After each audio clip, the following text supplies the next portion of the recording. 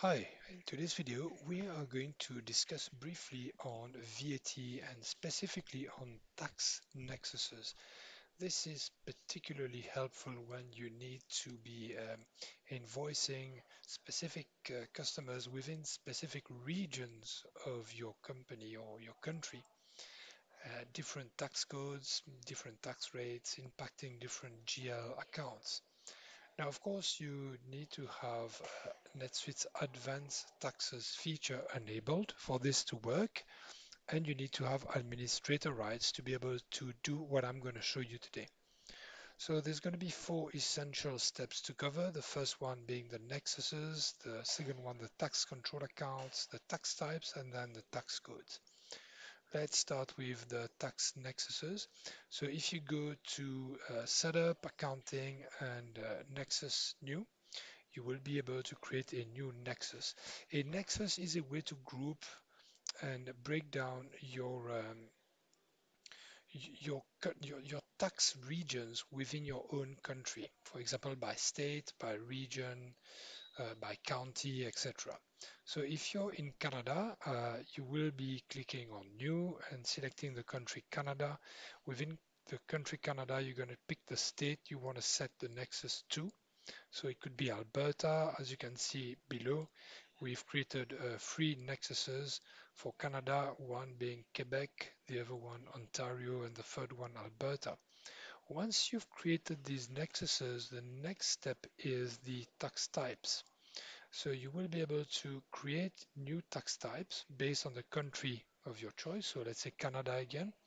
You can call the tax type something like PST. And within that tax type, you can see the nexuses below uh, for the Canadian uh, country. Now you will be able to assign very specific GL accounts to the sales tax account or the purchase tax account. And in case you don't see your accounts within this, maybe you need to um, either remove the only use tax control account on your tax country. To access this, you have to go to setup accounting tax types, click on the country that you want to allow this on. Uh, some countries don't allow it, so in case you cannot see this, then you'll need to create your own VAT control accounts. And to do this, you have to go to Setup Accounting and within the tax section, go to Tax Control Accounts and then create it from there.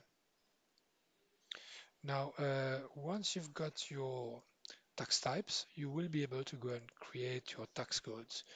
Uh, name them, set the right rates to them, share them across the right subsidiaries, uh, set the right categories on them. You know, is it uh, a reverse charge code? Is it only on exports or imports?